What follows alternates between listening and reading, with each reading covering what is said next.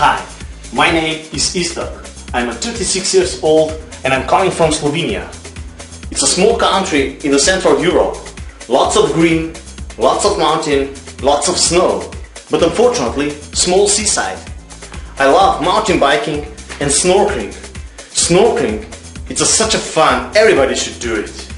I do traditional Chinese, Japanese, sports and classic massage.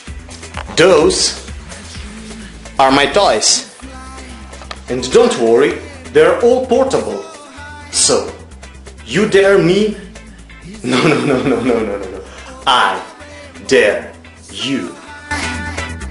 My dream is to fly over that rainbow so high.